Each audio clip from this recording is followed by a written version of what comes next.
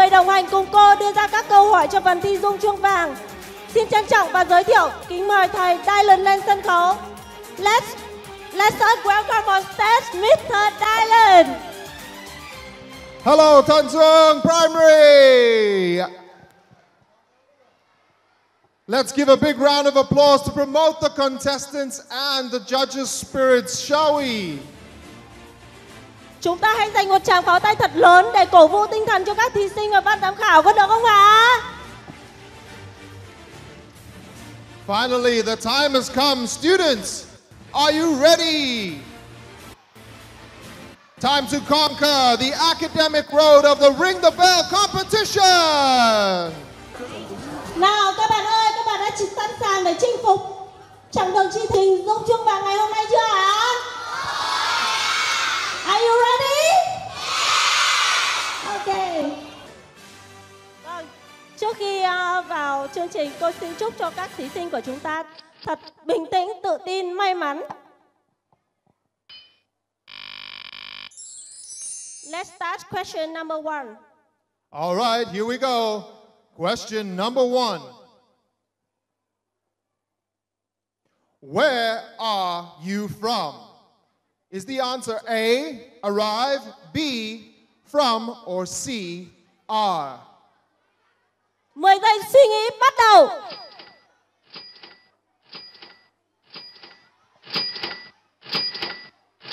Answers up in three seconds. Two, one. Answers up. Ah. Let's Congratulations to the contestants who got the answer correct. Vâng, xin chúc mừng các thí sinh của chúng ta.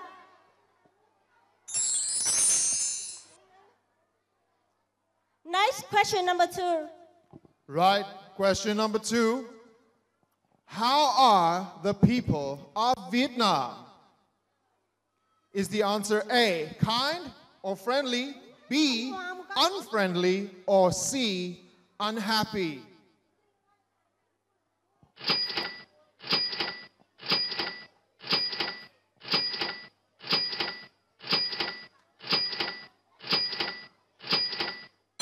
Answers up, answers up.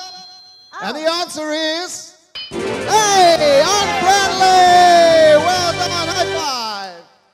Xin chúc mừng toàn bộ thí sinh của chúng ta đã có câu trả lời đúng. Let's move to question number three. Okay, question number three, students, are you ready? What is the capital of Vietnam? Is the answer A, Ho Chi Minh, B, Ninh Bình, or C, Hanoi? 10 giây suy nghĩ bắt đầu. Answers up in five, four, three, two, one. Answers up! Oh, And the correct answer is C, Hanoi! Congratulations to the contestants. And question number four. All right, here we go. Question number four.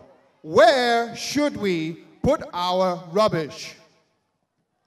Is the answer A, the bin, B, the schoolyard, or C, the drawer? 10 seconds begins now. Thời gian suy nghĩ bắt đầu.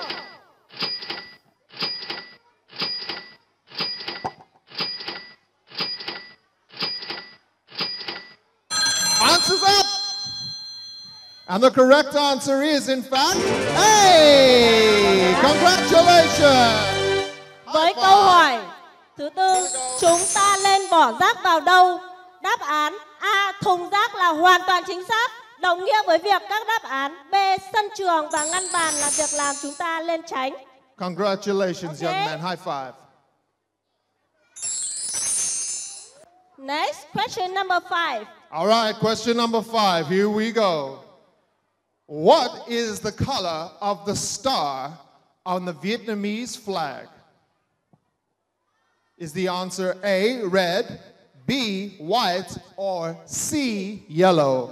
10 giây suy nghĩ bắt đầu.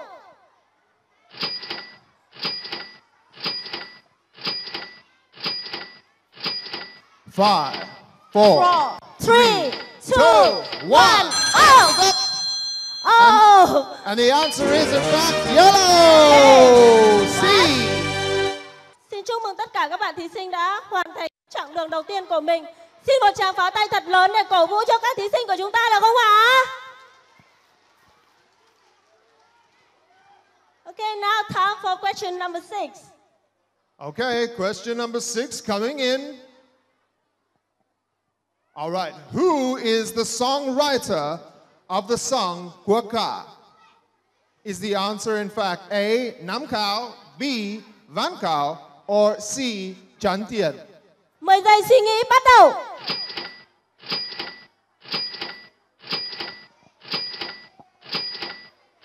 Answers up in three, two, two, one. one. Up Oh! we go.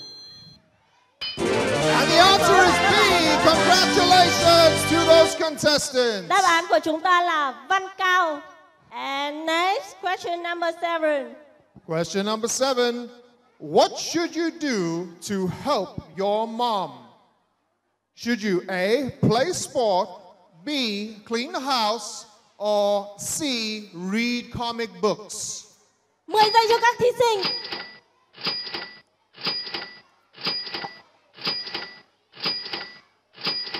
Three, two, one. Up we go. And the answer is, in fact, B. Clean the house. Congratulations. Nào, với câu hỏi là chúng ta lên làm gì để giúp đỡ mẹ? Tại sao em lại chọn đáp án B? Em thưa cô đáp án B là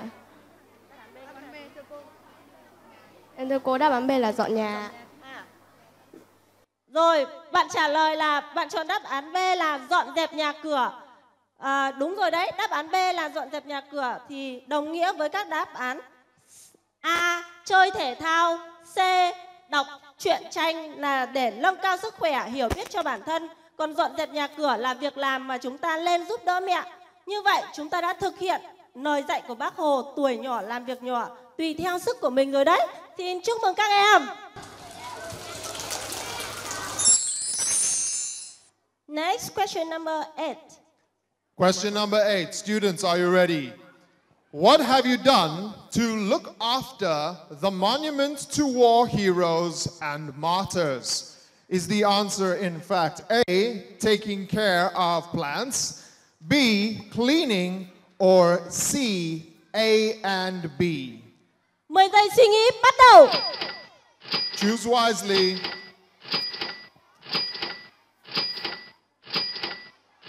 Three, two, one. Answers up. Vâng, tôi thấy rất nhiều đáp And the án. answer is C. All are correct. High five.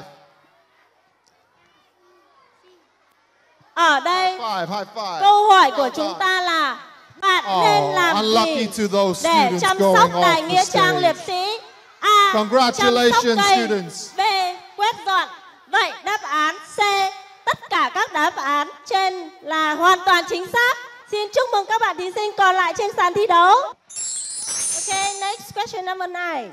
Question number nine. Students, Teacher's Day is something the 20th of November.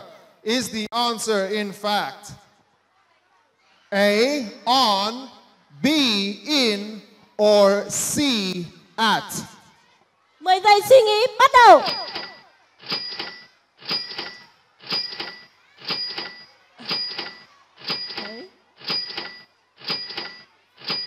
And answers up.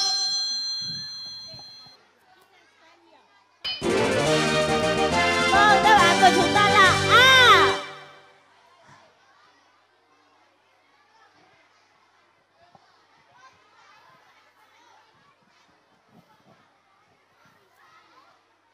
Sau 9 câu hỏi thì chúng ta Right, còn khoảng một congratulations nửa to thí those sinh trên sàn thi đấu ạ. Vâng. Now, next question number 10. Question number 10.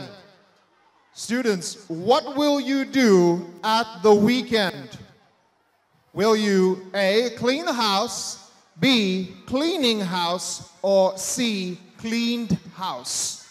Mười giây suy nghĩ cho các thí sinh.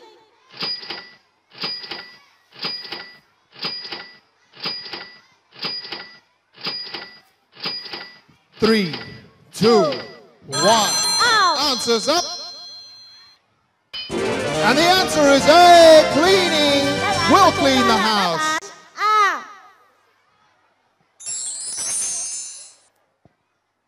Okay, next question.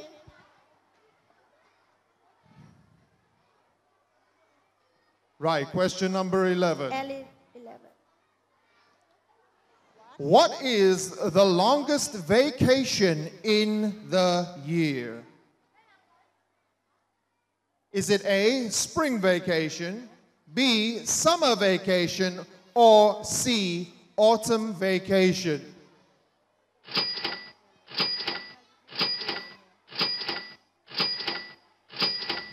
Answers up in three, two, one. Up you go. And the answer is in fact B, summer vacation. Yes, với câu hỏi này đáp án B kỳ nghỉ hè là dài nhất trong năm là hoàn toàn chính xác.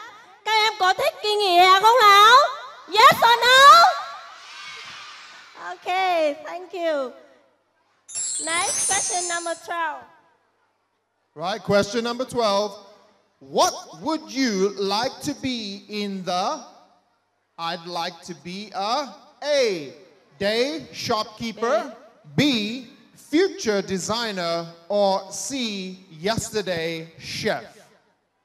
10 giây suy nghĩ bắt đầu.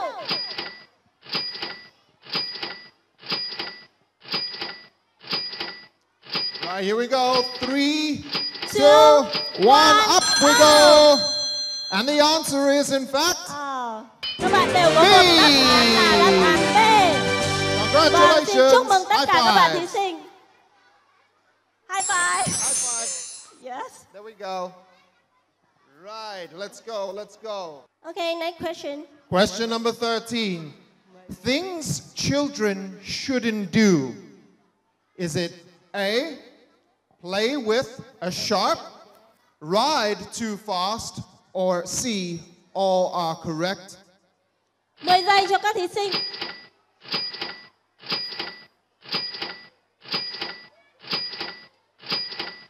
Three, two, one, One, And the answer is, in fact, C, all are correct. đưa ra các đáp án C với câu hỏi những điều trẻ em không nên làm. A. Nghịch vật nhọn. B. Đạp xe quá nhanh. Vậy đáp án C là hoàn toàn chính xác. Xin chúc mừng các em. Okay, next question number 14. Question number 14. What shouldn't you do at the when you are at the zoo? A. Pick up flowers. B. Sightseeing. C. Put rubbish in the bin. 10 giây suy nghĩ bắt đầu.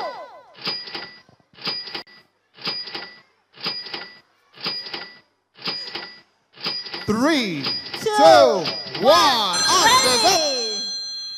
Ready. And the answer is A. Congratulations. Yes, thank you. Now, question number 15. Listen and choose.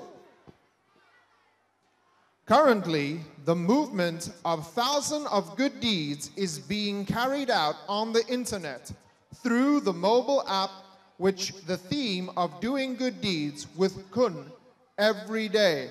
True or false? 10 giây suy nghĩ cho các thí sinh bắt đầu.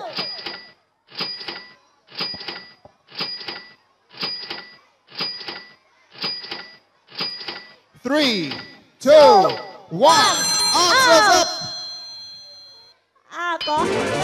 And the answer is A. It's true. Congratulations. Good job. Oh, sorry to those that got the Ah. answer incorrect. Yes, đáp án của chúng ta là đúng. Câu hỏi của chúng ta Hiện nay, phong trào nghìn việc tốt đang được triển khai trên hệ thống Internet qua app điện thoại với các chủ đề cùng cun làm việc tốt mỗi ngày thì đáp án của chúng ta là đúng. Tham gia cài đặt và thi đua cùng cun làm việc tốt mỗi ngày chính là phong trào nghìn việc tốt được Hội đồng Trung ương triển khai phù hợp với thời đại công nghệ số để thúc đẩy phong trào phát triển và lan tỏa sâu rộng. Các bạn đã cài đặt chưa? Hãy cùng cài đặt và thi đua làm nhiều việc tốt mỗi ngày nhé. Như vậy, trải qua chặng đường đầy thử thách, hiện tại trên sàn thi đấu của chúng ta là những bạn xuất sắc vượt qua 15 câu hỏi, chuẩn bị bước vào chặng đường tiếp theo. Một lần nữa xin chúc mừng các em. Các bạn cổ động viên ơi! Các bạn cổ động viên ơi! Các bạn có muốn thử sức để cảm nhận cảm giác thi của các bạn thí sinh không ạ? Chương trình có rất nhiều món quà, các em có muốn nhận quà không nào?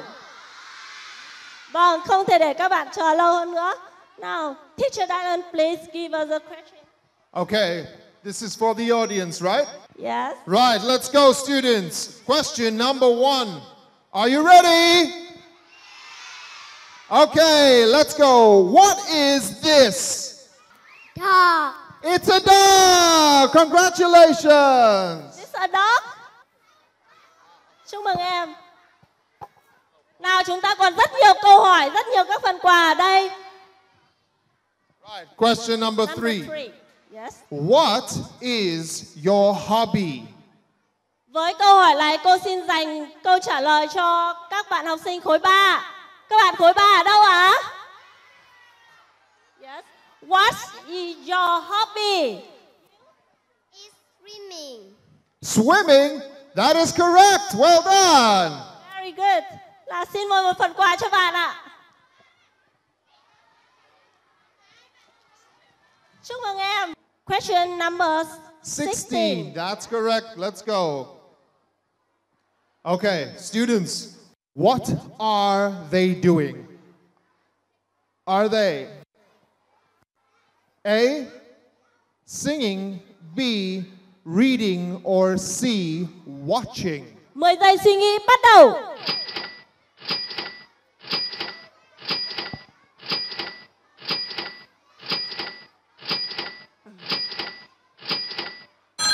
Uh, answers up. And the answer is, in fact, B, reading. Well done. Well done. Vâng, đáp án của chúng ta là B. Okay, next question. Question Number- number 17. Which one of these below shouldn't you do? A. Pushing and shoving. B. Helping the elderly. Or C. Looking after children. 10 giây cho các bạn thí sinh.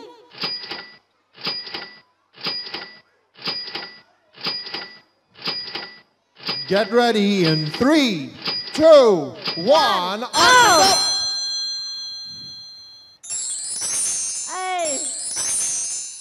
And the answer is A. Pushing and shoving. câu hỏi của chúng ta là việc làm nào dưới đây không lên làm thì đáp án A chen lấn xô đẩy là việc không lên làm là hoàn toàn chính xác. Các việc ở đáp án B giúp đỡ người già, chăm C chăm sóc em nhỏ là những việc làm tốt mà chúng ta cần làm mỗi ngày. Xin chúc mừng các bạn thí sinh còn lại trên sàn thi đấu của chúng ta. Next question is number 18. Question 18. What should you do to improve your English skills? Should you A. Practice speaking and reading, B. Be hardworking, or C. Be hardworking, practice speaking, reading, listening, and writing? 10 giây suy nghĩ bắt đầu.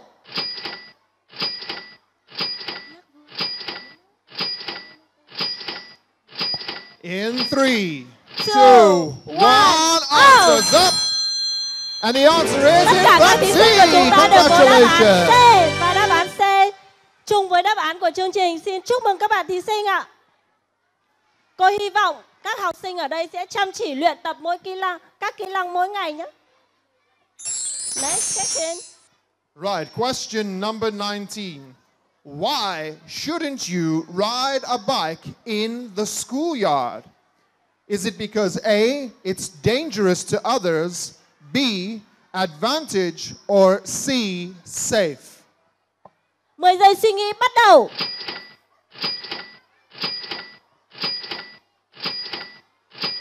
Answers in in three, Two, two, one, one. Answers up.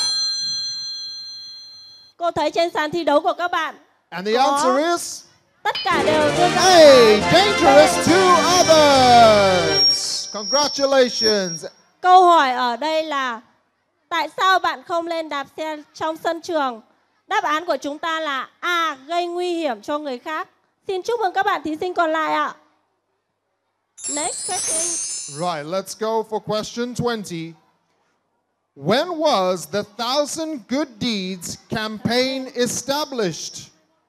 Is the answer A, 24th of March 1963, B, 25th of March 1963, or C, 26th of March 1963? 10 giây suy nghĩ bắt đầu.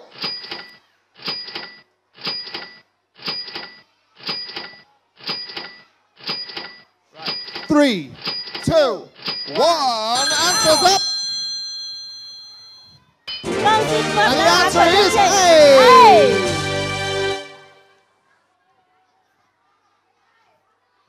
Okay. Congratulations to those students leaving the floor. Ồ. Vâng, qua hai trải qua 20 câu hỏi trên sàn thi đấu của chúng ta còn lại 6 thí sinh. Vì vậy, chúng ta sẽ phải trải qua một gói câu hỏi phụ. Ở phần câu hỏi phụ này, thí sinh sẽ được nghe câu hỏi và sau đó có 10 giây để ghi đáp án của mình ra bảng con. Thí sinh nào có đáp án trùng với đáp án của chương trình mới được coi là đúng. Các bạn đã sẵn sàng chưa ạ? Một tràng pháo tay thật lớn để cổ vũ tinh thần cho các thí sinh còn lại được không ạ? Next, question number 20, 21. Right, question number 21. Good luck, students. Do we just read the question? Okay, question 21 on the screen. Where was the Thousand Good Deeds movement first launched? Anybody know? Thời gian suy nghĩ bắt đầu.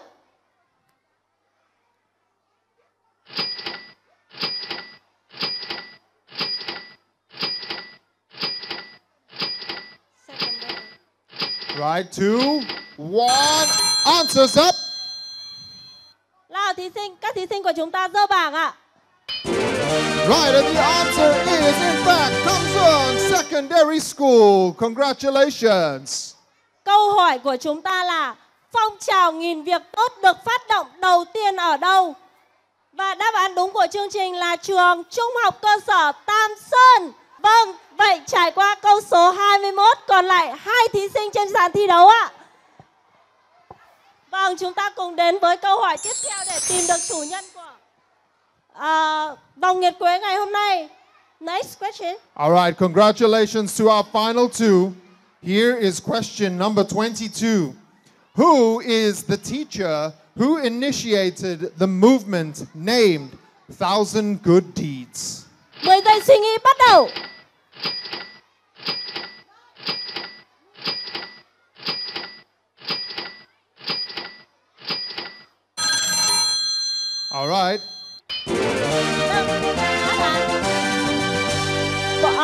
Ở hỏi này thì tôi thấy thí sinh của chúng ta chưa có đáp án. Câu hỏi của chúng ta, người thầy khởi xướng phong trào nghìn việc tốt là ai? Đáp án của chúng ta là thầy Nguyễn Đức Thìn. Các em ạ, ngày 24 tháng 3 năm 1963, phong trào nghìn việc tốt ra đời tại trường Trung học cơ sở Tam Sơn, thị xã Từ Sơn, tỉnh Bắc Ninh. Người khởi xướng phong trào ấy là người thầy giáo Nguyễn Đức Thìn, tổng phụ trách của đội thanh niên thiếu niên tiền phong của trường. Với sự cống hiến của mình, thầy đã được nhà nước trao tặng danh hiệu cao quý nhà giáo nhân dân anh hùng lao động. À, vậy à, chúng ta vẫn chưa tìm ra được à, chủ nhân của chiếc vòng nguyệt quế. Chúng ta sẽ bước vào một câu hỏi phụ. Bây giờ các em sẽ lắng nghe câu hỏi của thầy và đưa ra câu trả lời bằng cách là nói thầm vào tai thầy. Thầy sẽ lắng nghe xem bạn nào có đáp án hay và đúng nhất thì người đó sẽ giành chiến thắng. Are you ready? Okay, students, listen carefully. What is the name of the principal at Tanzung Primary School? I'll say it again. What is the name of the principal at Tanzung Primary School? À, thầy đưa ra câu hỏi là tên cô giáo hiệu trưởng của trường tiểu học Tân Dương và đáp án của thí sinh đưa ra là Nguyễn Thị Hường. Các bạn học sinh ơi, các bạn có đồng ý với đáp án của bạn không ạ? Vâng, vậy xin chúc mừng bạn thí sinh của chúng ta đã giành được vòng nguyệt quế ngày hôm nay. Xin mời thí sinh số 33. Yes. Wow, congratulations and well done. Con uh, à, xin mời con bước lên sân khấu ạ. Còn lại vang số báo danh 66 sẽ 61 sẽ giành uh, giải nhất của chương trình ạ.